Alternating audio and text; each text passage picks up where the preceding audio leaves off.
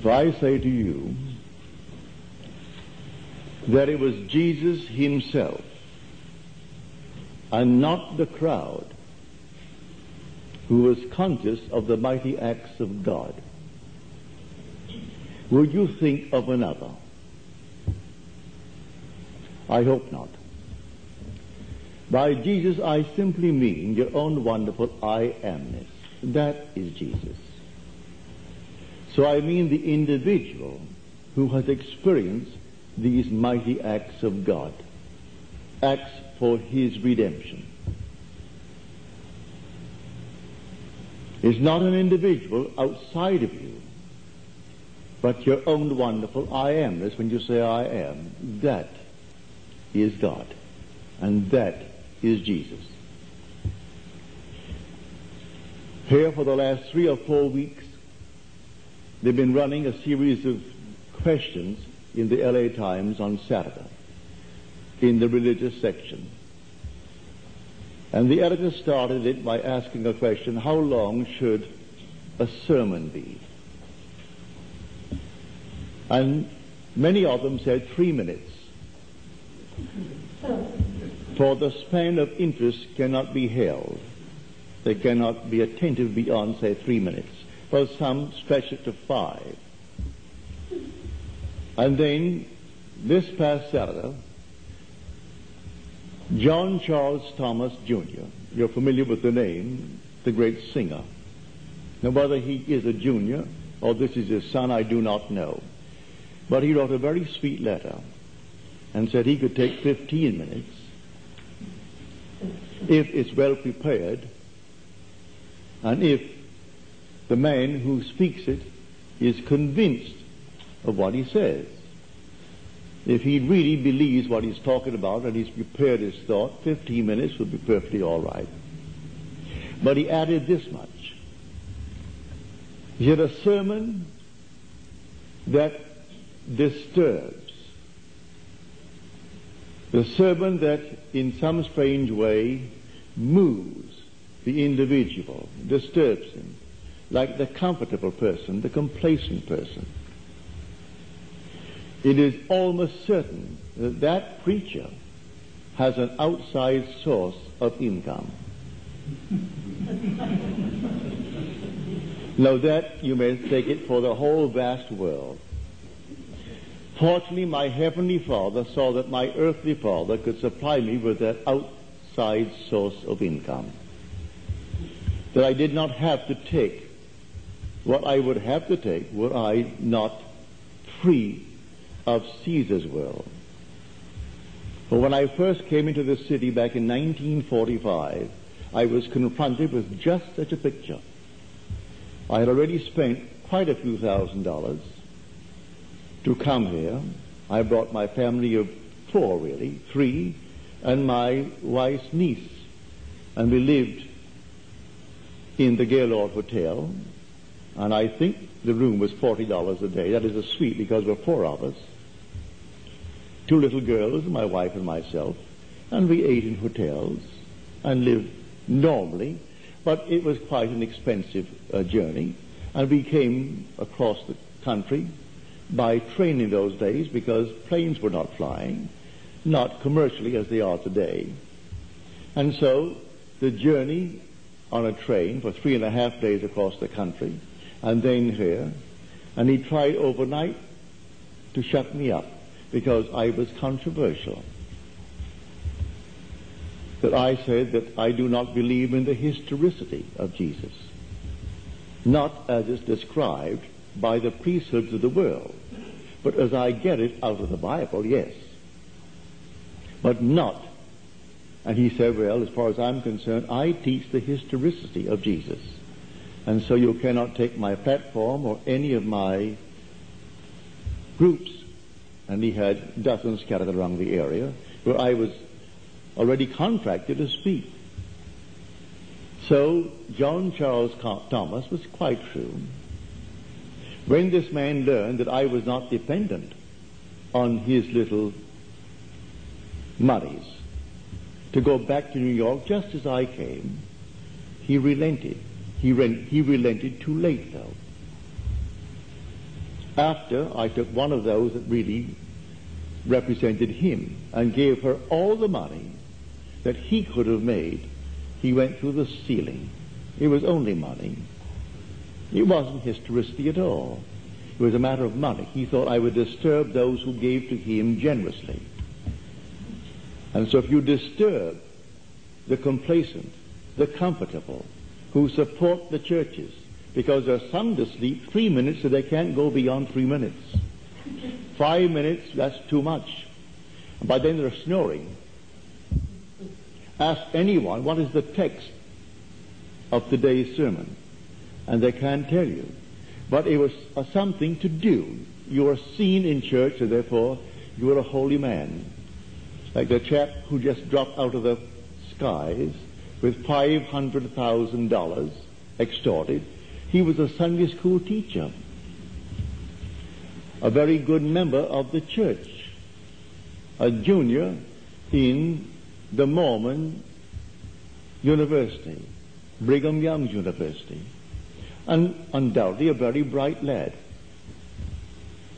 But he could extort $500,000 from the company. Of course, he only had time enough to spend $30 of it. They got him and they got the almost the $500,000. But to come back to the substance of it all, when you take the pulpit, you are almost warned not to tread on toes, not to tread on anything. Just leave it asleep. And if you don't, well then out you go, and we will simply call a meeting and bring in another one, another preacher, who will not disturb. And if he doesn't have an outside source of income, he will have to toe the mark. Well, that is life in this world. Fortunately, he who sent me saw to it I would not have to toe the mark. But when he embraced me, and he was infinite love, and then sent me and told me, done with the blue bloods. In other words, with all protocol, with all ceremony, with all that is now given off in the form of Christianity, or religion for that matter, done with it by ignoring it and go all out and tell exactly what you are going to experience. And so I began to experience God's plan of redemption. And so I was bold enough to go out and tell it just as it happened to me. Because I have what we call in Barbados a hind claw. When you find people chasing through the night to catch crabs, and the crab can run as fast as the individual behind him, and he can run in every direction just as fast. Forward, backwards, sideways, anything. And they're going to make a wonderful dish out of crab meat. Well, the crab can go to a precipice. It could be 70 feet tall. And right below is the ocean. And that crab can go just as fast as a man can run and disappear, but he isn't falling. He has a hind claw. And he simply holds on and simply buries himself and hides himself if the man goes one second beyond his speed into the water 70 feet below he goes. So we speak in Barbados of having a hind claw. That you can run and break your neck, but you aren't going to break it if you have a hind claw. So let them try to get you off the pulpit, get you off the stage, all these things. And if you really are sent, it will be prepared for you. You will have the hind claw you will have that outside source of income. So you can speak boldly and tell exactly what has happened to you. Now, Christianity is the fulfillment of Judaism. They are not two religions. It's one. It's the tree and its fruit. And Christianity is based upon the affirmation that a series of events happened in which God revealed himself in action for the salvation of man. And when did it happen? And where? Do you know it all happened in the Jewish synagogue? The entire Old Testament is written by Jews. 90% of the New Testament is written by the Jews. The New Testament is telling you what happened in the synagogue. Why, in the synagogue, men began to experience the fulfillment of their own wonderful prophecy. And then they told it. Now you will say, well, how did the one that is now symbolized as the one who told it, he was not the only one. It happened. As it's happening here. Many of us are happening now. If I preceded you by a few years, what does it matter? If I am the voice, but many of you are actually coming forward with the identical experiences.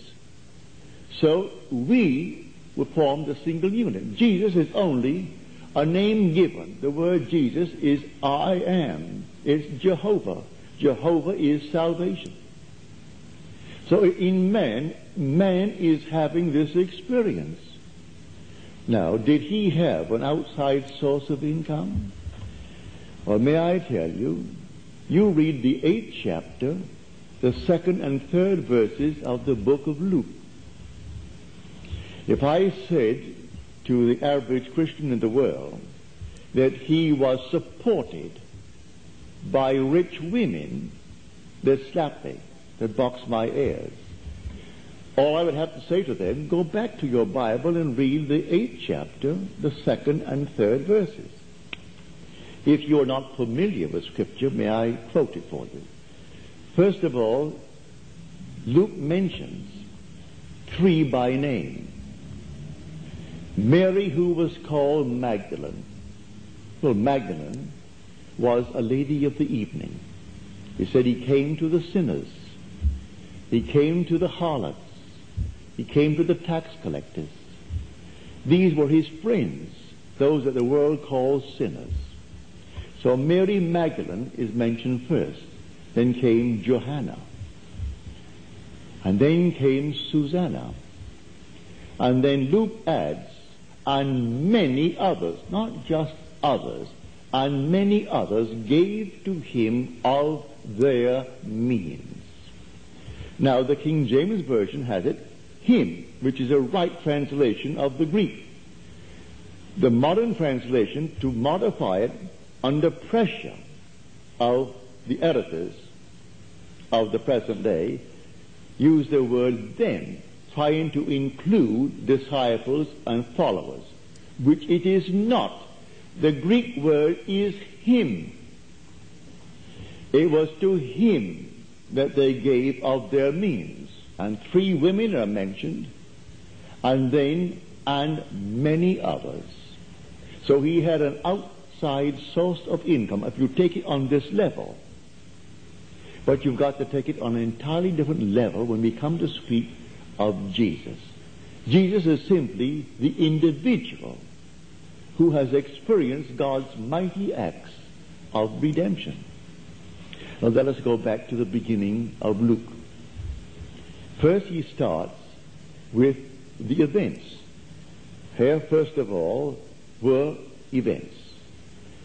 These things that have been accomplished among us. Now the word translated the among really should be translated within. It's the same word that we read in the same book in the 17th chapter, the kingdom of heaven is within you. So, these things have been accomplished within, not among, but within. But nevertheless, we start with the events. And here are the first four verses. Inasmuch as many have undertaken to compile a narrative of the things which have been accomplished among us, as they were dictated to us by those who were ministers of the word, who were eyewitnesses from the beginning. It seemed good to me also, having followed all things closely from the very beginning to write an orderly account for you, most excellent Theophilus, that you may know the truth concerning the things that have been told you. You've heard these things. They're all things that man only heard from those who had experienced it. Can you believe it? Now, all this happened in the synagogue. It did not happen on the outside. These are all Jews who knew their Bible, but they're not scholars. They were not brilliant minds. They were not the Sanhedrin. They were men who simply, it happened within them, as told us in the book of Daniel. He will give it to the lowliest of men. He is not coming to give it to the so-called wise men of the world and those that are known, but to the lowliest of men he will give it. So here are men and women in whom the thing began to unfold like a tree being ripe, and suddenly the blossom unfolds, and here we see the fruit. And they begin to describe their experiences, and knowing Scripture well enough, they could pinpoint the events that were foreshadowed in the Old, and here there now there's no New Testament, but they know they've brought the Old Testament and the only Testament to fruition. And so they began to tell their story. So here we find first the events. Then we find the oral tradition. So people heard what the few experienced. And then there are the preachers who told the word. Then came the committing of the oral tradition to the written word.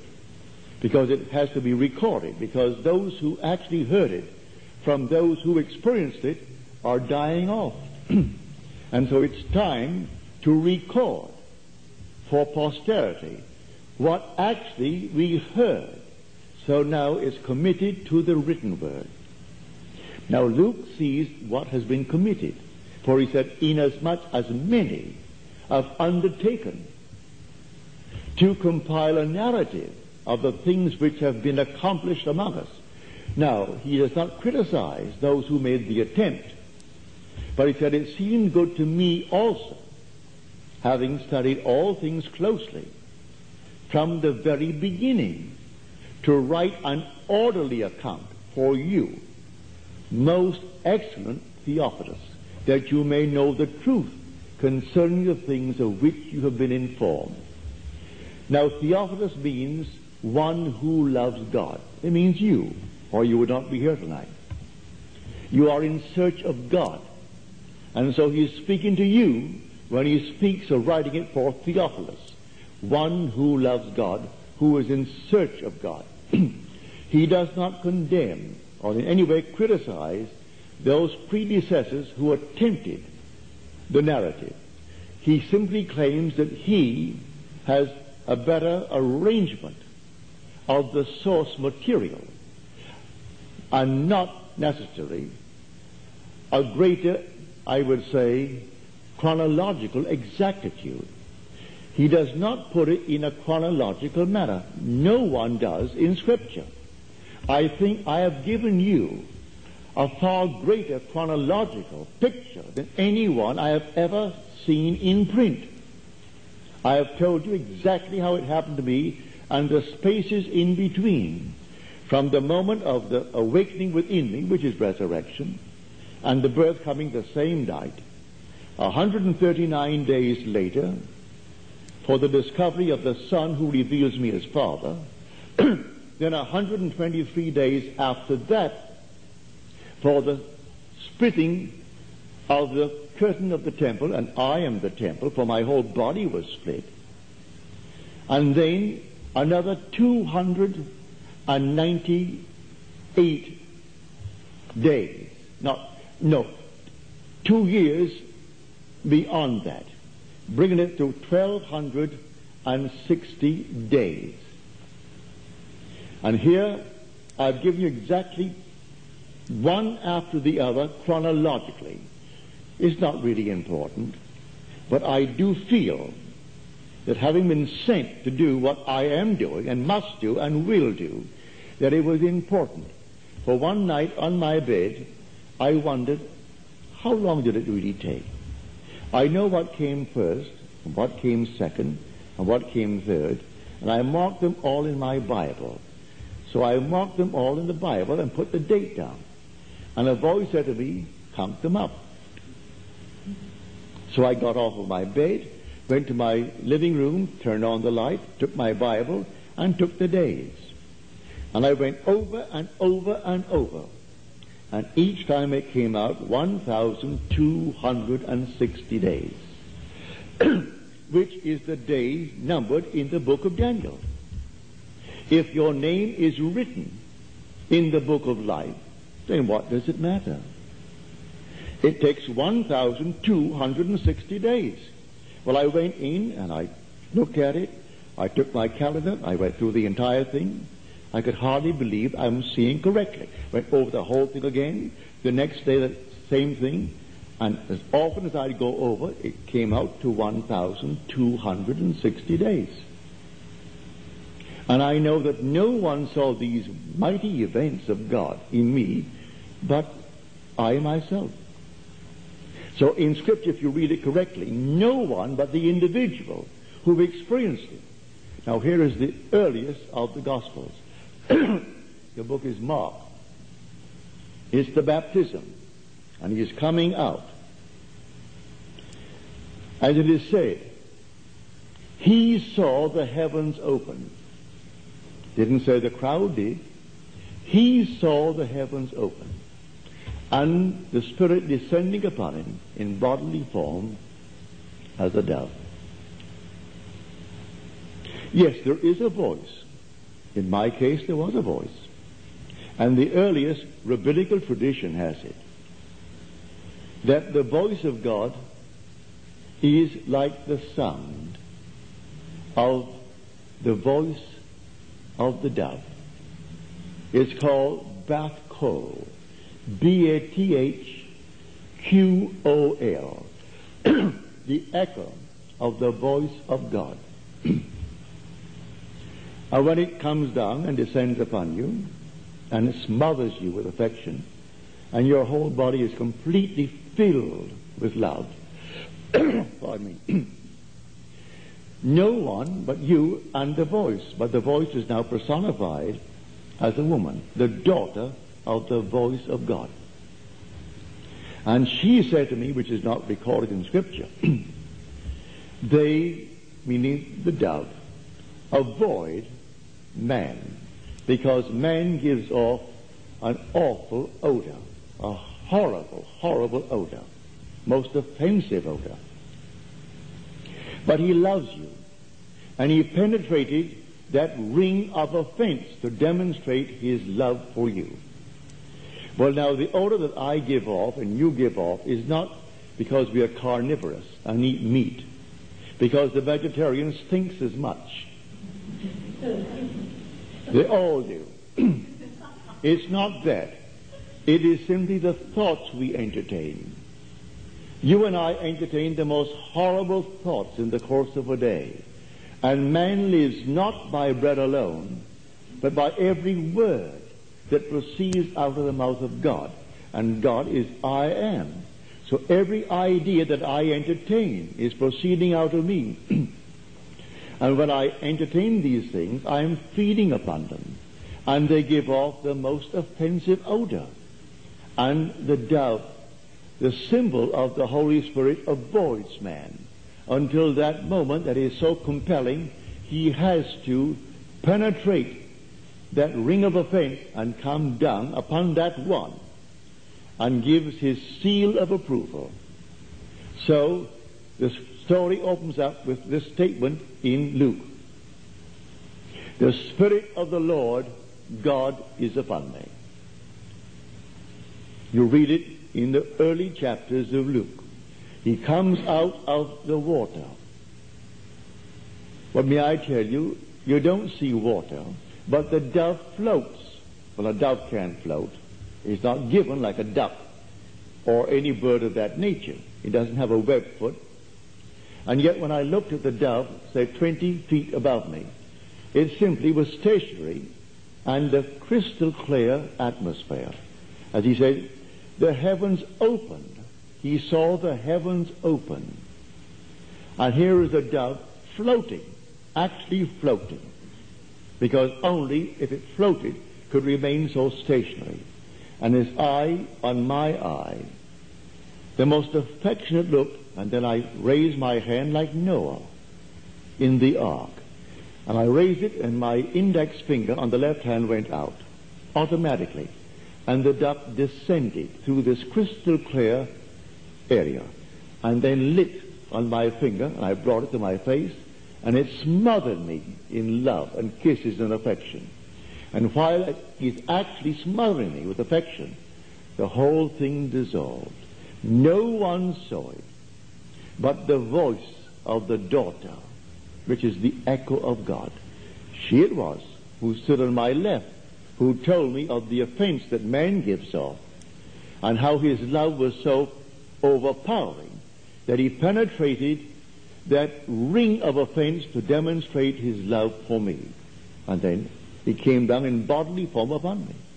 So he fulfilled the 61st chapter of Isaiah. The Spirit of the Lord God is upon me. He has anointed me to preach glad tidings to the poor and to open the prison doors of those who are enslaved. And then he closed the book and returned it to the attendant. And then all the eyes were upon him because of what he had said. And in a matter of moments, they were stoning him to death. So he disturbed the complacency of people. So when you take the platform and you in any way disturb the comfortable, those who are complacent, those who are now quite satisfied with the prefabricated misconception of Scripture. They don't want any disturbance, and you disturb them, and they'll warn you. You won't get a salary, you'll be out. For if they learn that you have an outside source of income, then they respect you. That's all they respect anyway, money. What caused this man to take this $500,000? Was it not the love of money? And someone imitating him within 24 hours, so they caught him. They said he was but an imbecile. But he was asking for another 500,000 because how easy it was to get it. So they got them both. One had mapped the whole thing out and he thought it the perfect crime. They could never find this. He did everything he thought was the right thing. And seemingly betrayed by his intimate friend who knew his secret. Can't you see scripture? His closest friend betrayed him. No one can betray you who does not have your secret. And so his closest friend and his sister-in-law betrayed him. For reasons not yet told, but they couldn't stand it. And so we are told in scripture, his closest friend, he who dipped into the dish with me, betrayed me. Only my intimate friend, to whom I have revealed my secret, could ever betray me. No one knows the secrets of a man but the spirit of man. No one knows the secrets of God but the spirit of God. So if God reveals his secret, only the one to whom he revealed it could betray him. And he has to be his closest friend. That's the story. So he writes a narrative around these events. So you can tell all kinds of things around the series of events. And they aren't very many. They are mighty acts by which God unveils himself in the individual for the salvation of that individual. And the salvation of the individual is to reveal him as God himself. So this story of Jesus Christ, if I could only get you to feel, I would break it right into two and speak of Jesus as Lord and Christ as his Son. But man hasn't been taught it that way yet. You will write it one day. I have given it to you from the platform, and now you have it on tape. That's all right. But I still feel the written word is more lasting. This is a wonderful electronic age. And you can put it on if you have the machine. But the written word, when you have it written, so at leisure you can just simply turn back and read it. One day someone is going to write it just as I have told it and now record it on cassette. But you'll take it from the cassette and one of you will have the ability to write it. And he claimed he simply took the oral traditions, for he followed them closely from the very beginning. And having seen what others attempted to do, for inasmuch as many have undertaken to compile a narrative of the things which have been accomplished among us, and how they came, they came by the oral tradition, the preachers of the word that they heard. Then having followed all things closely from the very beginning, it seemed good to me also to write an orderly account for you, Theophilus, you lover of God, that you may know the truth concerning these things of which you have been informed. And so he writes the book of Luke and the book of Acts. With no bragging, claiming that he is better than, he claims is simply a better arrangement of the oral traditions. Who Luke is, no one knows. They're all anonymous. Matthew, Mark, Luke, and John are anonymous names. No one knows who they are. But there were those who were qualified to write the oral traditions. For it all came down in that manner. But then when those who heard it from the source in the beginning are approaching the point of dying from this section of time and leaving it, it naturally behooves someone to record it if it's worth recording. And so he thought it worth recording in the written form. And so he recorded it in our gospel called Luke. So that's how it's done. Now I've been sent to clarify points. I feel my entire mission is to tell you who Christ really is. And Christ is David. If the whole vast world rose in opposition tonight, and if I were physically nailed, it would make no difference. I would not enjoy the pain naturally. But if that was what I had to pay, I would willingly pay, but I could not recant. I could not recant what I have experienced that David of biblical fame is the Christ. He is the anointed of the Lord. He is the Son of God. And the only one that can reveal God to you.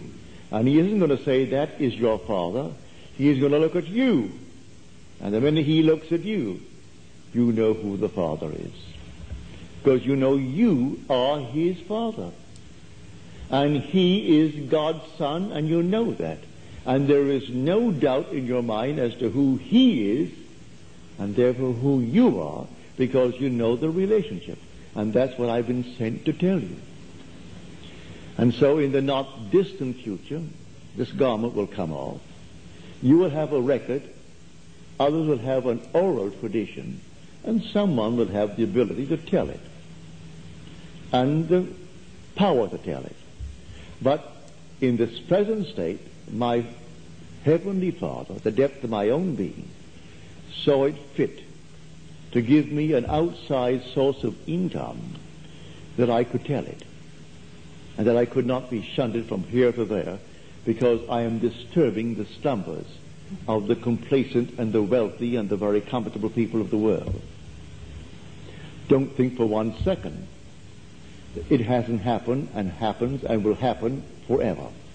One lady in New York City, she hated Bishop Manning. He was the bishop of St. Thomas, 53rd Street and Fifth Avenue. And she left $2 million and her will was, it goes to St. Thomas if Bishop Manning is dead. Or if he is still alive, it goes to St. Luke's Hospital. Well, St. Luke's is owned by the Episcopal Church. So it doesn't really matter. You give it to St. Thomas or you give it to St. Luke's. So she left a will that if it is, if he is still alive, that thing then St. Thomas does not get it. If he is dead, it, he'll get it. If he is alive, St. Luke's gets it. Now here one day I was dining at the University Club in New York City. And my friend who was my host took me to the window and I looked out through the window and I saw this enormous wall. And I said, what am I supposed to see? He said, just what you're seeing. Do you see anything? I said, well, just a wall. A plain wall that goes all the way up to the height of some building that is there. Well, he said that building that it hides is St. Thomas's church. And that is a spite wall built by John D. Rockefeller the first. He too had an argument with the bishop, Bishop Manning. And to spite him, he built on his own land a wall that completely covered all the beautiful uh, glass windows, these beautiful colors that face north in New York City. And he left to will that even to this day, which is now the fourth generation after his death, they cannot break that will. So you're going to St. Thomas today and you see beautiful tapestries hanging where if you could remove the tapestry and the wall to get the light through, you'll see the most beautiful, wonderful glass that is there. You can only see the berth that faces the west and that which goes south. But the northern view is completely blocked out by the spite wall by a man who considered himself a very religious man. He was against prohibition, against smoking, against all things, and he was a devout Baptist. But not devout to the point he would not go and, ana- and analyze all kinds of soil, and only he knew figures backwards. And so he could just multiply it and multiply it into billions. And so he thinks that is spirituality. And that wall still is there in New York City. And you go into that lovely church. I've gone in many a time at Vespers just to hear the organ. A beautiful organ, and some great organist is always playing. So you're going, especially in the winter months, when winter sets early. Around four o'clock, it's all dark. And quite often, around four, I would go into St. Thomas and just sit in the back and hear that beautiful organ and look to the setting sun because just before it would set, we got from that western view that enormous burst through those beautiful colors that is over the altar. And I could get a bit from the south, but the north all hidden by these tapestries. But at least I thoroughly enjoyed the beautiful music that came from the organ. So this is what everyone confronts in this world of Caesar. so tomorrow have a little fun and ask the complacent and ask those who are completely asleep if Jesus had any supporters. And they will tell you, oh no, he could bring gold out of the fish's mouth. He could do all these things. And why would he want anything other than the, the ability to do these things? And then just casually open the book of Luke to the eighth chapter and have him or have her read the second and third verses. That they gave him of their means and many others. And they named three. And one was a harlot. She had a wonderful clientele. and gave generously to one who set her free. Instead of condemning her for her profession, he let her go. And then he took that one commandment from the ten and any man, he uses that in the Sermon on the Mount. Any man who looks lustfully on a woman has already committed the act in his heart with her. So then he said to her, What man is without sin? So go, my dear. And so she continued to go her way and reward him generously. If you take it on that level. But on all these levels, you can take scripture. For the ark is built on three levels. And you have your physical level, your psychological level, and your spiritual level. I am trying to raise you to the spiritual level, where these mighty acts take place within us. And when they take place within us, they are seen by no one but the individual in whom they took place. So the dove comes down, and who sees it? No one of the crowd. And so you're split in two, and who sees it? No one but you. You see David, and who sees it? Just you. You come back and you tell the story how you rose within a grave, and you came out of that grave with an innate wisdom as to what to do. And no one saw you do it. Will they believe you? I said to my dentist, I told the whole story to him one day. He said, Do your brothers remember it?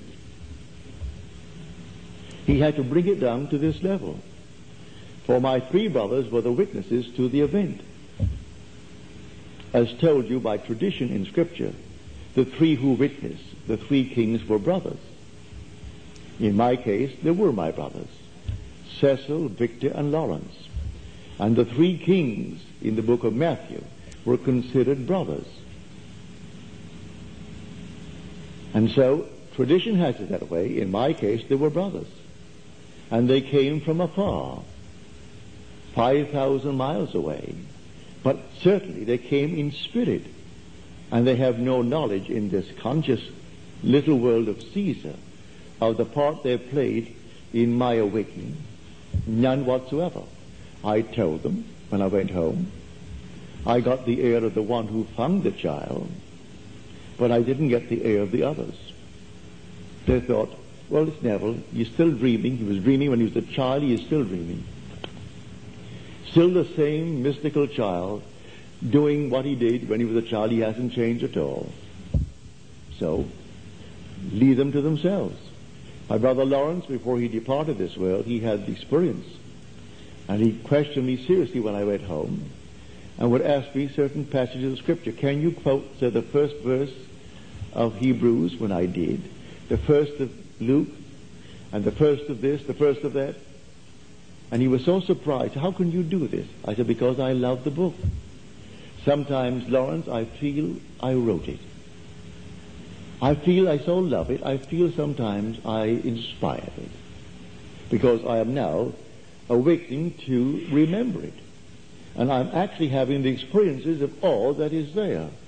And so I can't deny the feeling sometimes that possesses me, that I inspired it.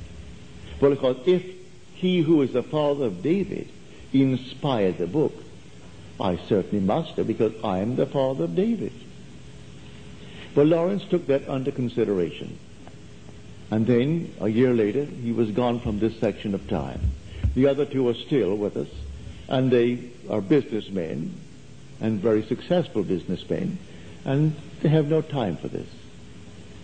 I am Neville, and they are what they are, and they allow me to be what I am. But it was so set up in the beginning with my Heavenly Father that He is going to send me into this world to do what I have to do, and do I must, and do I will. And knowing what happens to the preacher when he steps on the toes of the sleeping ones who contribute to his income. They can fire him overnight. He saw to it that I would not be fired. And oh, the thing that struck me so forcefully when I first came here when this man with all of these degrees, all self-imposed, because where did he get them? He gave them all to himself. And then he dared to tell me that I must not teach from his platform the non-historicity of Jesus. And I told him that I know from experience that he is the only reality in the world, but not secularly so. It's not secular history that our evangelists were writing. Matthew, Mark, Luke, and John, they themselves are unknown, and they were not writing secular history. They were writing theology. They were not writing as historians, as biographers. They were putting down things that no mortal eye could see and building around it the most glorious story that it could enter into lowly minds, just like yours. And so you believe in the historicity. And he wouldn't bat an eye to take from you what was in your pockets if you didn't have them nailed down. I'm not criticizing him. I'm just telling you what I know from experience. I went through that with him.